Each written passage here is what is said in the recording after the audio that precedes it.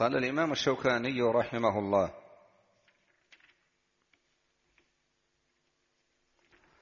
كتاب القضاء. القضاء في اللغة الحكم والفصل. ويأتي ويراد به إحكام الشيء والفراغ منه. يقال قضى يقضي قضاء إذا حكم. على كل هو في اللغة الحكم والفصل.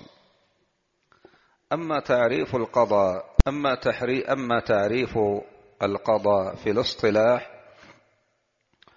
فهو تبيين الحكم الشرعي والإلزام به. تبيين الحكم الشرعي والإلزام به وفصل الخصومات وقطع المنازعات. طيب في هذا الزمن الشرع يظهر على جملة من الألسن. الأول لسان الراوي. فلسان الراوي هو خير لسان. الثاني لسان من؟ لسان المفتي.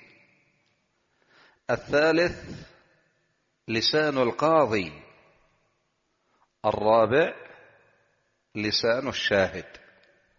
فإذا ذكرها الإمام ابن القيم رحمه الله في إعلام الموقعين أن الشريعة تظهر على أربعة ألسن. هذه التي سمعناها على لسان الراوي والمفتي والقاضي والشاهد. تظهر أو يظهر الحق. طيب ما حكم القضاء؟ القضاء فرض على الكفاية. إذا قام به من يكفي سقطا لإثم عن الباقين.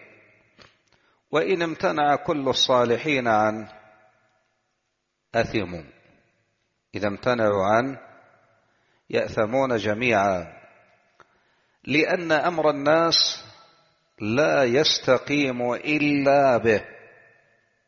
لا يستقيم إلا به. وهو من القرب لمن احتسب. ففيه نصرة للمظلوم وإقامة للحد. وإعطاء كل حق حقه وفيه الإصلاح بين الناس وقطع الخصومات. ما هو الفرق بين القضاء والإفتاء؟ ما هو الفرق بينهما؟ من يقول نعم القضاء ملزم أما الفتوى فليست ملزمة. ذكر هذا ابن القيم رحمه الله في إعلام الموقعين. ما هي أدلة مشروعية القضاء؟ الكتاب والسنة والإجماع. أما الكتاب فقول الله تبارك وتعالى يا داود إنا جعلناك خليفة في الأرض فاحكم بين الناس بالحق. من يأتي بآية أخرى؟ نعم. إنا أنزلنا إليك الكتاب. نعم لتحكم بين الناس بما أراك الله لتحكم. طيب أيضا؟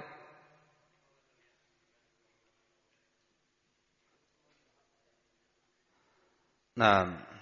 وداود وسليمان إذ يحكمان في الحرث إذ نفشت فيه غنم القوم وكنا لحكمهم شاهدين إذ يحكمان. أيضا أيضا وعد الله الذين آمنوا منكم وعملوا الصالحات ليستخلفنهم في الأرض كما استخلف الذين من قبلهم. وفي قول الله إني جاعل في الأرض خليفة. قالوا أتجعل فيها؟ من يفسد فيها الآية. فهذه الآية أصل في القضاء وفي الخلافة. وهل أدا وهل أتاك نبأ الخصم إذ تسوروا المحراب؟ إذ دخلوا على داود ففزع منهم. طيب. الإمامة العظمى بما تثبت؟ كيف يصير الخليفة خليفة؟ يعني ببيعة الناس له. كما حصل كما حصل من من؟ كما حصل لأبي بكر. فقد اتفق عليه المهاجرون والأنصار وبايعوا إذن ببيعة الناس له. الثاني. نعم. الثاني إذا تغلب.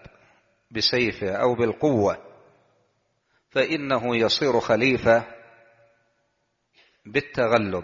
طيب مثل من؟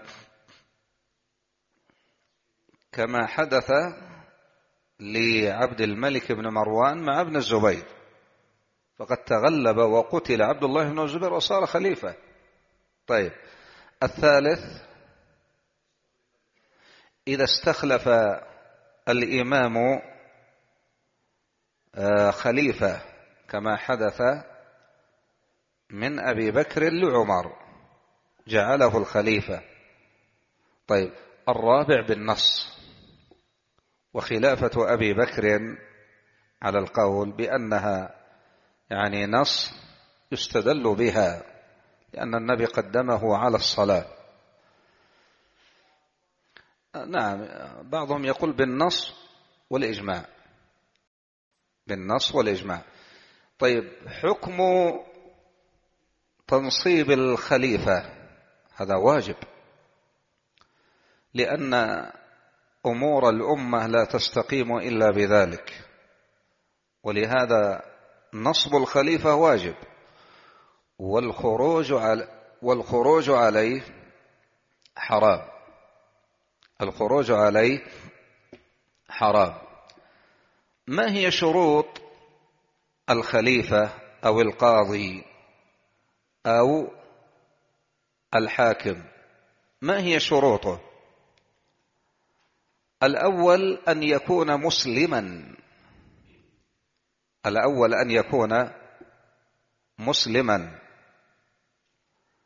طيب لأن الإسلام شرط للعدالة والكافر ليس بعدل. أيجوز أن يتولى الكافر على المسلم أو لا يجوز؟ صحيح لا يجوز. لقول الله ولن يجعل الله للكافرين على المؤمنين سبيلا. ما؟ هذا من هذا من السبل يتولى عليه. طيب. اذا تولي الكافر رفعة له والمطلوب أن يذل حتى يعطوا الجزية عن يد وهم صاغرون. الثاني من شروط القاضي أن يكون مكلفا. ما معنى أن يكون مكلفا؟ أن يكون بالغا عاقلا لأن الصبي والمجنون غير مكلفين. يكون طفل خليفة للمسلمين. لو جعبك نعم أو أخذت منه لعبة أقام الدنيا صراخا. لا هذا لا يصلح. إذا يشترط أن يكون مكلفا بالغا عاقلا. الشرط الثالث أن يكون حرا. أن يكون حرا. لماذا؟ لأن الرقيق مشغول بحقوق سيده. هو مشغول بحقوق سيده. فليس أهلا للقضاء كالمرأة. يشترط أن يكون ذكرا. فلا تتولى المرأة القضاء لأنها ليست من أهل القضاء. قال صلى الله عليه وسلم لن يفلح لن يفلح قوم ولوا أمرهم امرأة. أخرجه البخاري. وأيضا إذا كانت مزوجة هي مشغولة بحقوق زوجها وأولادها تحتاج إلى الحمل والولادة وما أشبه ذلك فليست أهلا للقضاء. طيب عندنا إشكال. حديث العرباض. وإن تأمر عليكم عبد حبشي. اسمع وأطع يعني للعبد الحبشي. لكن هنا في أجوبة. أحيانا قد يمثل بما لا يقع. قل إن كان للرحمن ولد. ثانيا أن هذا إذا ولاه إذا ولاه القاضي أو الوالي. طيب. قالوا أيضا إذا كان هذا حاله قبل كان عبدا فكان هذا حاله. هنا في أضواء البيان للشنقيطي رحمه الله. قال العلامة الشنقيطي رحمه الله الثالث من شروط الإمام الأعظم كونه حرا فلا يجوز أن يكون عبدا ولا خلاف في هذا بين العلماء. قال ولا خلاف بين العلماء. فإن قيل ورد في الصحيح ما يدل على جواز إمامة العبد. فقد أخرج البخاري حديث أنس اسمعوا وأطيعوا وإن استعمل عليكم عبد حبشي. ولمسلم اسمعوا اسمعوا وأطيعوا ولو استعمل عليكم عبد يقودكم بكتاب الله. حديث أبي ذر وإن كان عبدا حبشيا. الأجوبة الجواب أنه قد يضرب المثل بما لا يقع في الوجود. قل إن كان للرحمن. الوجه الثاني أن المراد باستعمال العبد الحبشي أن يكون مؤمرا من جهة الإمام الأعظم. الوجه الثالث أن يكون أطلق عليه اسم العبد نظرا لاتصافه بما كان سابقا. قال الله وآتوا اليتامى أموالهم. طيب ما معنى وآتوا اليتامى؟ اليتيم لا لا يعطى المال. أي الوصف الذي كانوا عليه. وإلا فإن آنستم منهم رشدا. لكن بالنسبة للمرأة نعم الحنفية خالفوا بالنسبة للمرأة. طيب الشرط كم؟ الخامس. قالوا العدالة فلا يولى الفاسق. لقول الله تبارك وتعالى يا أيها الذين آمنوا إن جاءكم فاسق بنبأ فتبينوا أن تصيبوا قوما بجهالة. ف إذا كان خبره لا يقبل فحكمه من باب أولى. فحكمه من باب أولى لكن إذا طرأ عليه الفسق زنى سرق فهل يجوز أن يخرج عليه؟ لا لا يجوز. للأدلة المتكاثرة المتواترة. والنبي صلى الله عليه وسلم كما قال في حديث عبادة آه، إلا أن تروا قال بايعنا النبي صلى الله عليه وسلم على السمع والطاعة في العسر واليسر والمنشط والمكره وعلى أثرة علينا وعلى ألا ننازع الأمر أهله إلا أن تروا كفرا بواحا عندكم. فيه من الله برهان. هنا قال النبي إلا أن تروا كفرا بواحا ظاهرا عندكم. فيه من الله برهان. فإذا رأينا كفرا ظاهرا بواحا. هناك أيضا شروط كما ذكرها أهل العلم. أن تكون هناك قدرة عند الخارجين أو عند يعني ماذا الخالعين لهذا الإمام. ألا تعود الفتنة أشد. يعني كما يقال لا تهدموا يعني مصرا وتبنوا قصرا. دم يعني دولة ويبني بيتا. لا. أيضا ألا يلجأوا إلى أعداء الإسلام. ففروا من كافر ورجعوا إلى كافر. كان الشيخ رحمة الله عليه يكرر ذلك ويذكره طيب. هل له أن يخلع نفسه؟ المسألة تعود إليه. لو طرأ عليه الفسق ورأى من نفسه عدم القدرة فهذه تعود إليه. إيه لو أنه عزل نفسه والناس بحاجة إليه يعني ما يوجد إلا هو الشريعة جاءت بالمصالح وتكثيرها وبدرء المفاسد. في الشنقيطي ذكر هل له أن يعزل نفسه؟ نعم ذكر هذا اقرأه إن شاء الله. طيب السابع من شروط الإمام طيب السادس. السلامة من العاهات المزمنة. قالوا كالصمم. طيب كيف يكون قاضيا وخليفة وهو لا يسمع؟ هذا ما ما يستقيم. قالوا كالصمم وألا يكون أخرس. ما يتكلم يستطيع أن يتكلم. بقي العمى يعني الله أعلم لا يشترط. لماذا؟ لأن الأعمى يعني تراه مدركا بل يكون بعضهم قاضيا فطنا إلى الغاية عنده خبرة. فبالنسبة لي يعني البصر يعني لا يلزم وفي اشتراطه نظر.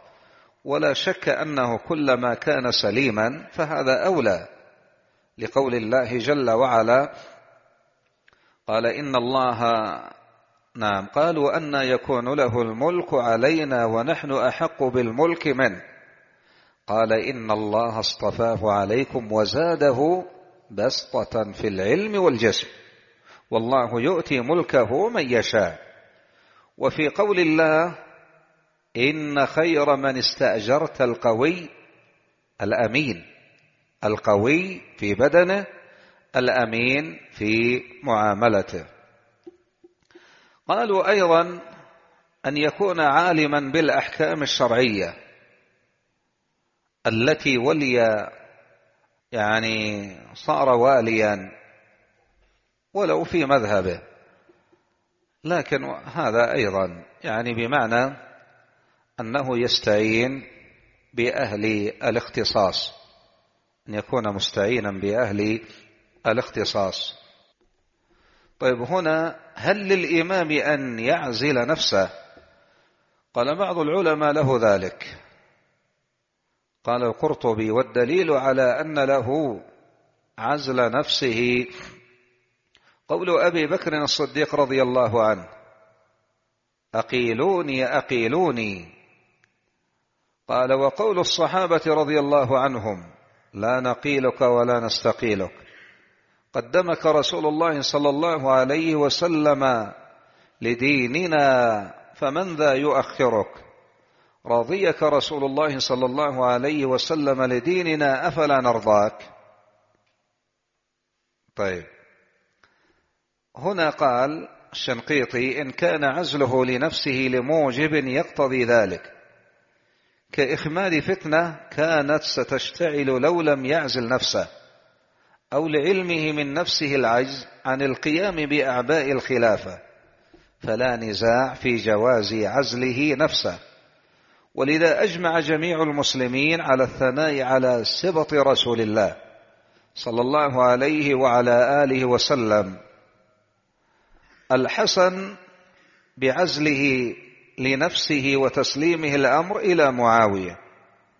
نعم. اذا يعني إذا كان العزل لمصلحة فلا حرج. طيب إلى